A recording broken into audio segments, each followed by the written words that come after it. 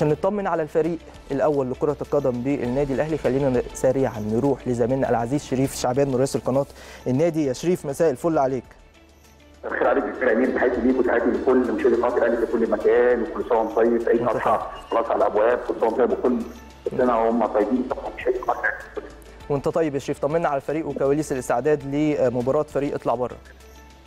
خليني أبدأ لك جميل أمير.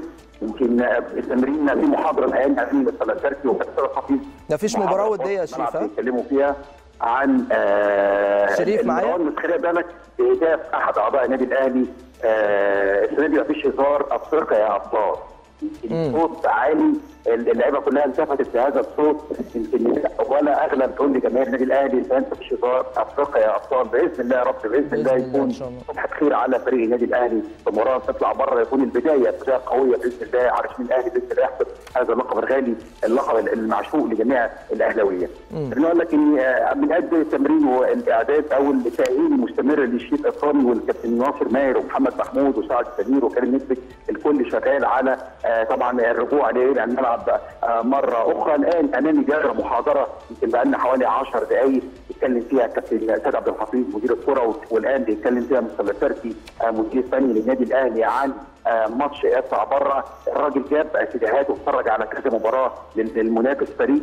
يعني برضه ما عندوش كره عشوائيه منظم إلى حد ما حذرهم من الفريق وحذرهم من البدايات لازم البداية تكون قوية شخصية البطل تبان من البدايات علشان خاطر نبين للناس كلها إن إحنا فعلا داخلين ناخد اللقب. المحاضرة مستمرة أمامي زي ما قلت لك. يمكن النهارده كان أول يوم ليه غرف الملابس النهارده النادي الأهلي استعملها ولاعيبه النادي الأهلي كويس. كان يوم استعمال النهارده ليها مش عاوز أقول لك الروح المعنوية والنفسية فارقه قوي قوي معاهم. وهم يعني النهارده بيستعملوا هذه الغرف اللعيبه بتقول إحنا خلاص إحنا حاسين ان إحنا بنواكب دلوقتي إحنا لسه يعني احدث تطور في العالم إحنا لسه راجعين معسكر من أسبانيا ما يقلش ونزيد كمان التطور اللي حصل النهارده في النادي الأهلي يمكن الجيم الناس اللي بتعمل تقويات قبل ما تنزل ليه تمرين النادي الأهلي يمكن الجيم الكيو بتاعه على الملعب على طول اللاعب بيخش الجيم حتى الجهاز الفني شايفه من الازاز اللي حوالين الجيم أجواء أوروبية أجواء تساعد أي لاعب على النجاح بإذن الله بإذن الله يكون فتحة خير على النادي الأهلي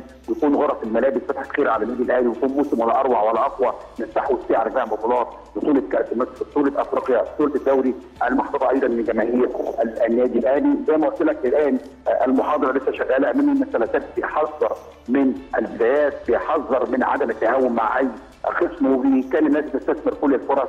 نبين شخصية البطل من أول مباراة. وزي ما قلت لك التأهيل مستمر. لشريف اكرامي والناصر ماهر وكريم نكبت ومحمد محمود وسعد وسمير يمكن ناصر ماهر بيتكلم في حوالي 72 ساعة ويكون موجود في الملعب. الباقي بقى ما بين أسبوعين ما بين ثلاث اسابيع من أقصى حاجة شهر بإذن الله وتلاقي كل المصابين موجودين في أرض الملعب. طيب شريف مدى اندماج اللاعبين الجدد في المران مع زملائهم من لاعبي النادي الأهلي؟ الأمور واصلة لحد فين بالنسبة لهم؟ وهل خلاص في حالة من الاندماج السريع ما بينهم وبين لاعبي النادي الأهلي؟ اتعمل لهم test يشوف قياس بدني يشوف الحالة بعاد ولا قريبين مثلا اللاعب الأفريقي كان بعيد نوعا ما فتعمل له برنامج على طول عشان يخش مع لاعبي النادي الأهلي وفعلا هو موجود مع لاعبي النادي الأهلي. اكشن متولي قصة مختلفة خالص. جاهزين نعمل لهم قياسات القياسات بتقول الناس جاهزة في مستويات متقاربة جدا من لاعبي النادي الأهلي. على طول دخلوا التمرين مش عاوز أقول لك امبارح النهارده لا الشكل الشكل بيوحي بإذن الله إن النادي الأهلي تعاقد مع لاعبين سوبر مع باقي الزملاء بإذن الله يكونوا مساهمين بكل قوة للفوز بجميع بطولات الفترة القادمة. يا شريف أنا بشكرك شكرا جزيلا. زميلنا العزيز شريف شعبان مراسل قناة الأهلي وقال لنا كل التفاصيل الخاصة بفريق النادي الأهلي في إطار استعداده لمباراة فريق اطلع بره في مستهل المشوار الأفريقي.